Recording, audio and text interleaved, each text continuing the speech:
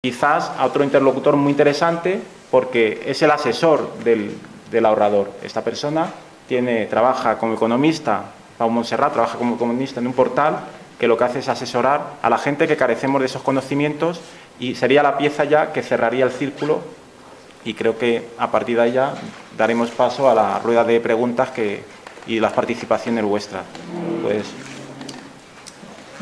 bueno, me voy a marcar 10 eh, minutos justos y si puedo ser aún más breve lo seré porque eh, creo que aquí mm, mis compañeros y compañeras han hecho una explicación muy muy certera que nos posiciona eh, muy bien en el problema de la banca actual y, y, nos guía un poco en lo que puede ser una banca de futuro, que como muy bien ha dicho Andreu, estamos hablando de una banca que por mucho que hagamos, durará 20 o 50 años conseguir esa banca del futuro si la conseguimos y por tanto eh, hay que poner foco en intentar que la banca que tenemos hoy en día sea cada vez menos mala y que los clientes cada vez eh, sean eh, gente más informada.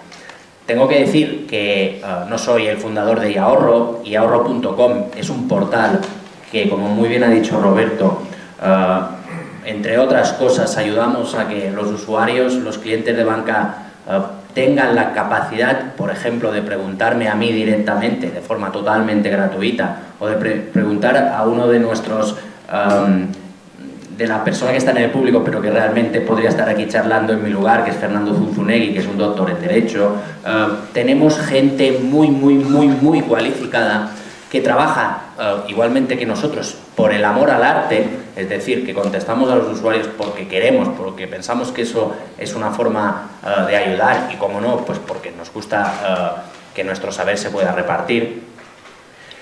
Con lo cual les invito, cuando tengan, si se quedan con muchas dudas, con muchas preguntas, con muchas críticas, que, que, participen, porque sé que vienen aquí a participar, sé que vienen aquí un poco a quejarse, a lo mejor alguno viene aquí a decir que su banco ha hecho las cosas bien, para eh, que no se queden dormidos aún, eh, les haría una pregunta. ¿Cuántos de ustedes, me basta con que levanten la mano porque el turno de, después la tertulia será más tarde, ¿cuántos de ustedes son directivos de bancos?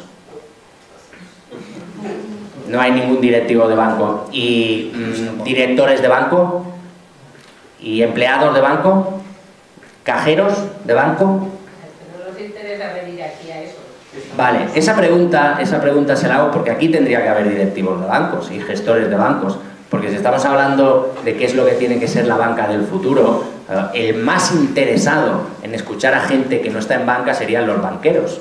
Ese es el primer problema que detecto. Yo estuve en el año 2012, creo que era, eh, o 2003, no, 2012 en Salvados, eh, como ex empleado de banca, explicando qué es lo que se estaba haciendo mal desde hacía décadas en las oficinas bancarias, que ustedes lo saben perfectamente porque seguramente muchos de ustedes lo están sufriendo. Um, y mm, esta polémica al final no, no, creo que haya llegado a los gestores de banco, lo dudo. Otra pregunta que tenía que hacerles a ustedes eh, es eh, ¿cuántos de ustedes confían, ahora están, eh, confían, realmente están a gusto con el banco en el que tienen su dinero, sus cuentas corrientes? Que levante la mano alguien. Ninguno. No hay ninguno que esté, uh, que, confíe ni que esté a gusto con su banco. Bien. ¿Y cuántos de usted, usted sí está, está contenta? ¿Estás? Hasta ahora no me ha pasado nada. Uh, ¿Puedo saber, es un poco privado, pero ¿puedo saber qué banco es? No lo digo, no pasa nada. Era para ya saber un banco que funciona un poco... Es que si lo digo van, van a decir, ah, pues a mí sí Ah, pues no lo diga, no lo diga. No es, no es Caja Madrid, no es Caja Madrid. Muy bien. Bueno, de hecho, de hecho Caja Madrid ya no existe. Sería Bankia. No entiendo. ¿Ha visto una mano? Usted sí que está contenta. Bueno, pero yo que me cambié, me cambié de que estaba descontenta y me fui a una banca por internet donde no hay ningún comercial que me quiera convencer. Se fue a ING, ¿verdad? Es de las pocas entidades, y, no es porque nosotros trabajemos con ellas, de las pocas entidades que realmente aún no hay mucha queja. Eh, ¿Y cuántos de ustedes eh, son clientes desconfiados? Esa es la tónica general, tanto del joven como del más mayor. los bancos se enfrentan, lo que sí que ha cambiado, y yo estoy contento de que haya cambiado, pero nos queda mucho aún para, para que el cambio sea definitivo, es el cliente. En realidad los bancos eh, después hablaremos porque ya mi tiempo se está agotando. Los bancos no han cambiado. No ha cambiado prácticamente nada, por no decir nada. Pero que los directivos de bancos, que el señor González, que el Ana Botín no haya cambiado, tampoco era de esperar. Hasta que no se retiren o los retiremos no cambiarán. Son las mismas personas. Las personas nos cuesta mucho cambiar. El problema es que tampoco han cambiado sus prácticas ni las, las prácticas que se están dando en oficinas. Ha, ha, señalado Andreu uh, las nuevas participaciones preferentes. Si ustedes quieren saber dentro de tres o cuatro años uh, en qué habrá manifestaciones y en qué habrá perdido la gente, sea en fondos de inversión, un producto que según la CNMV, un fondo de inversión, es un producto simple, cuando es complejísimo, los propios expertos como yo nos cuesta entender por qué un fondo de inversión de renta fija puede perder un 30% y pueden, porque tienen el mismo riesgo que un fondo de inversión de riesgo de renta variable. Uh, y los, los, directores de oficina, y me, me, me consta de directores de oficina, vuelven a tener uh, objetivos de 700.000 euros al mes para colocar fondos de inversión. 700.000 euros significa que al cliente que entre por la oficina que le venza un depósito, le voy a recomendar un, un, fondo de inversiones muy seguro, de renta fija, que nunca se pierde. Pues sí, señores, se están perdiendo. Eh, en el portal de ahorro nos están preguntando cómo es posible que le había dicho el del banco que no se podía perder. Si les ofrecen un fondo de inversiones, les sugiero que no lo contraten, les sugiero que acudan a un experto y que les dé su consejo independiente, porque probablemente con este pequeño consejo les estaré ahorrando dinero.